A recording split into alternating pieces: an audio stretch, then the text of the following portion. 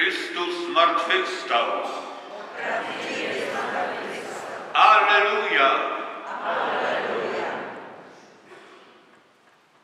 Śpiewamy dziś sercem rozradowanym i wdzięcznym.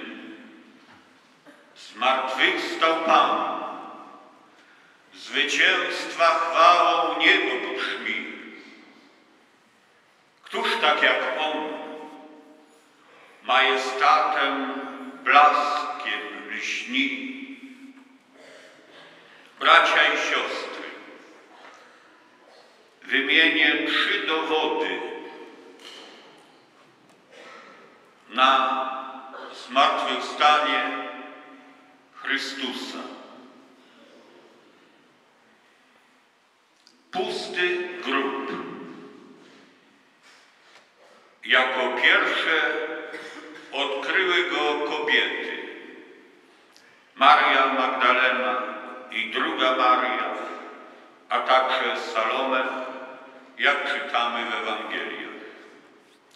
Przyszły do grobu wczesnym rankiem, gdy słońce wzeszło, ale zastały grób otwarty. Weszły więc do środka, zamiast ciała Jezusa zobaczyły anioła w bieli i usłyszały z jego ust, dlaczego szukacie żyjącego wśród umarłych? Nie ma go tu, zmartwychwstał. O pustym grobie przekonali się też jako pierwsi z uczniów Piotr i Jan, którzy na wieść o tym pobiegli i na miejscu złożenia ciała Jezusa zobaczyli które był owinięty. I to ważne, bracia i siostry, nikt nigdy, nawet spośród wrogów Chrystusa, nie pojawił się, kto zaprzeczałby, że grób nie był pusty. I nikt nie pojawił się, kto powiedziałby, że widział jego martwe ciało po Wielkanocy. Drugi dowód na zmartwychwstanie Jezusa. Czytamy w dziejach apostolskich, że Jezus po swojej męce objawił się jako żyjący i dał liczne tego dowody. A święty Paweł w liście do Koryntian napisze Przekazałem wam na początku to, co przyjąłem, że Chrystus umarł zgodnie z Pismem za nasze grzechy, że został pogrzebany, że zmartwychwstał trzeciego dnia zgodnie z Pismem i że ukazał się Kefasowi, a potem dwunastu. Później zjawił się więcej niż pięciuset braciom równocześnie.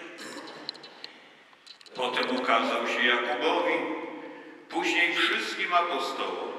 W końcu już po wszystkich ukazał się także i mnie, jako poronionemu płodowi. Tak, spotkanie z Jezusem, zmartwychwstałym, tak wielu, bo ponad pięciuset osobom jednocześnie, to kolejny dowód, że On żyje.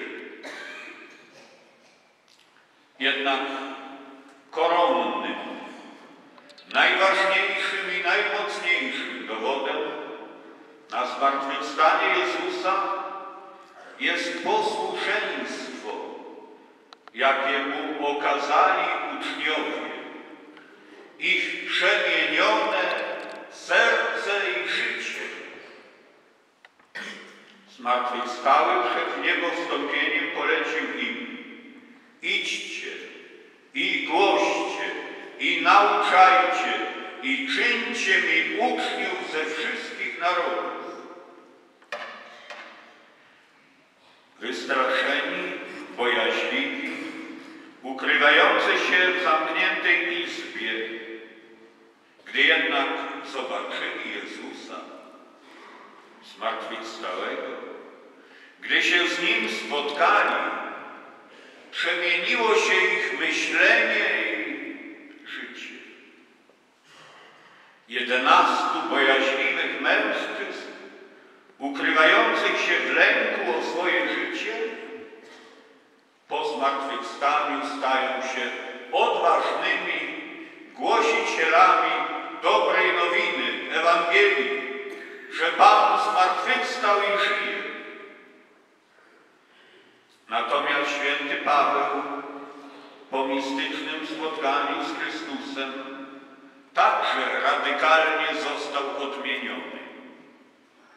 Z pełnego nienawiści fanatyka i prześladowcy w największego obrońcę, misjonarza i ewangelistę, jakiego kiedykolwiek znał Kościół. Wszyscy oni ryzykowali więzieniem, a nawet śmiercią, byle tylko głosić zmartwychwstałego Chrystusa. Nie chcieliby umrzeć, gdyby wiedzieli, że to wszystko było kłamstwem.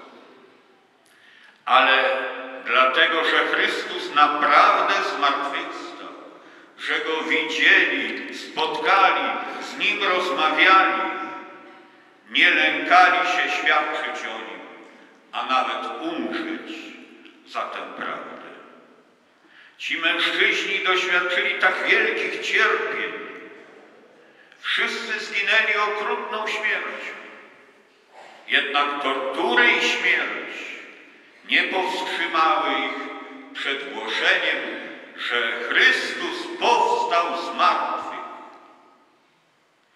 I tym doświadczeniem Jezusa żywego, Jego mocą i miłością zaczęli się dzielić, opowiadać w mieście, w którym Jezus został krzyżowany, a także udając się w cztery strony świata. Gdyby zachowali doświadczenie Jezusa tylko dla siebie, dobra nowina nie dotarłaby do nas i nie byłoby nas tutaj w ten poranek dzisiaj. Bracia i siostry, uczestnicy rezurekcyjnej mszy świętej, apostołowie męczennicy są dla nas ludzi XXI wieku największym dowodem na zmartwychwstanie Jezusa. Te dowody są tak mocne, że tylko ludzie złej woli ich nie przyjmują. My wierzymy, że ten cud prawdziwy, że On zmartwychwstał, powstał i żyje. Alleluja!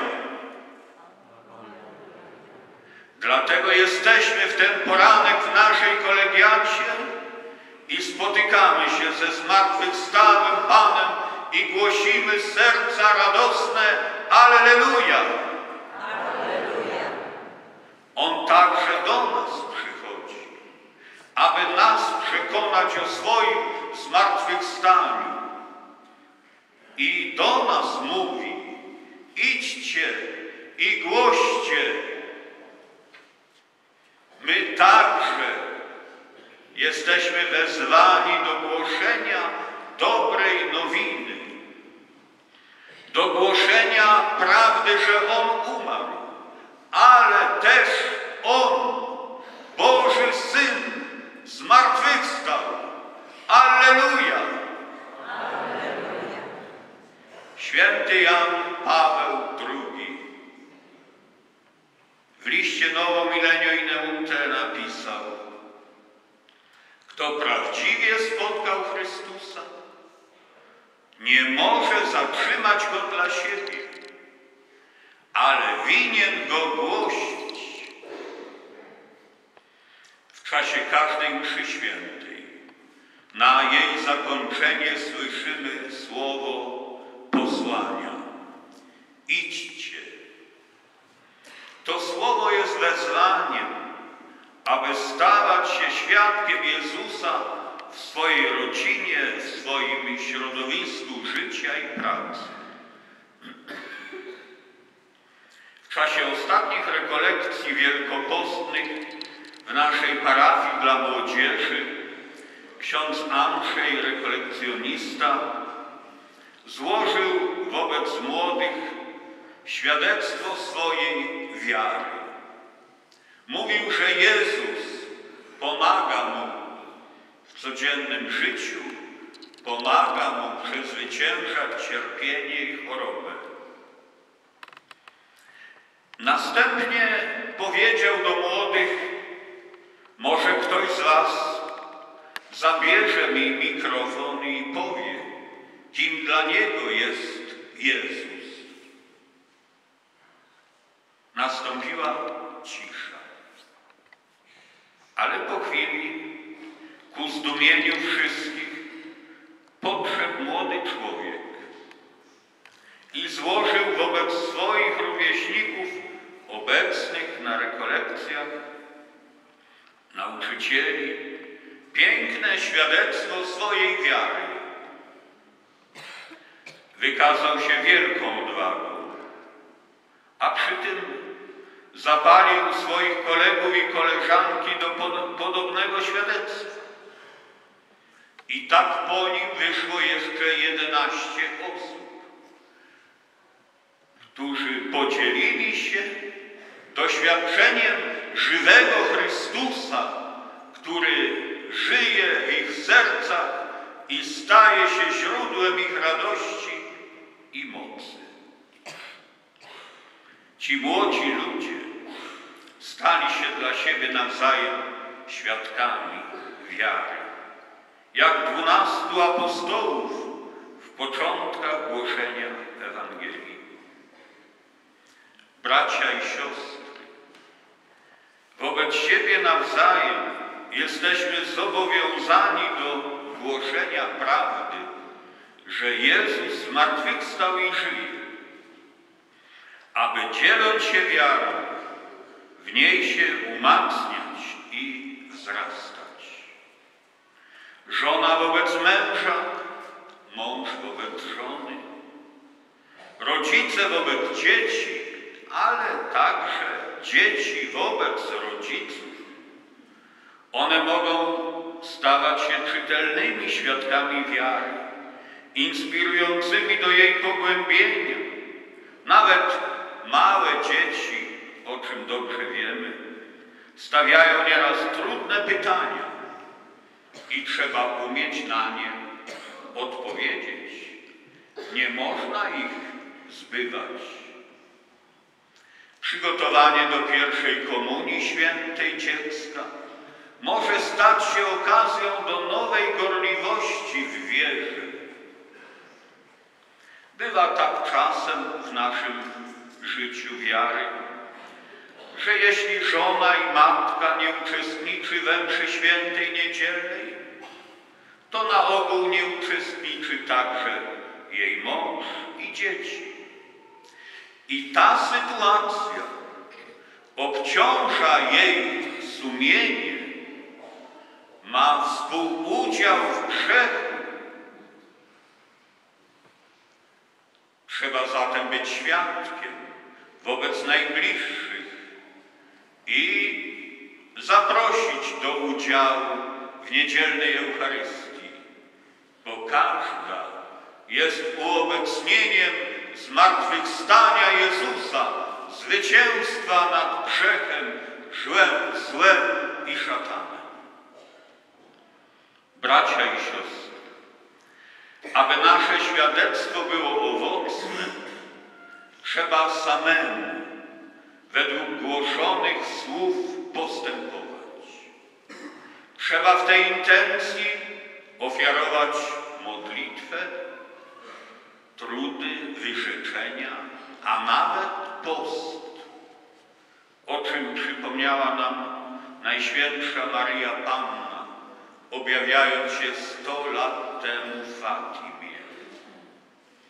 A w tym roku uwrażliwiamy nasze serca na potrzebę świadectwa, przeżywając go pod hasłem idźcie i głoście.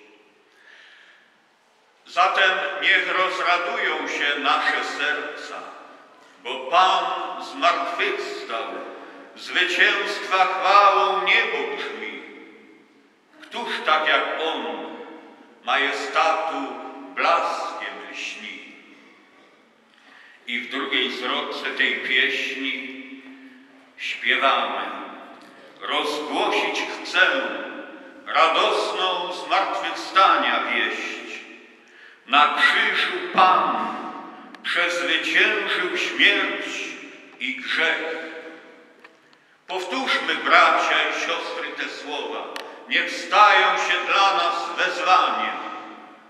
Rozgłosić chcę radosną zmartwychwstania wieść. Na krzyżu Pan przezwyciężył śmierć i grzech. I zaśpiewajmy razem tę pieśń. Niech nasze serca radują się, bo Pan zmartwychwstał i żyje.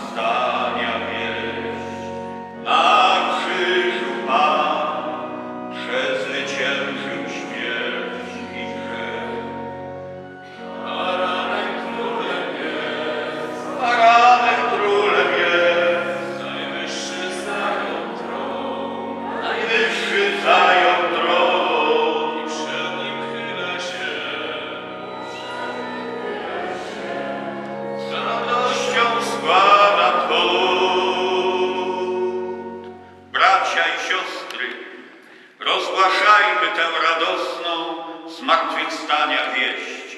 Pan żyje, On zmartwychwstał i jest z nami. Niech ta radosna wieść przenika nasze dziś i jutro, nasze serca i życie. Amen.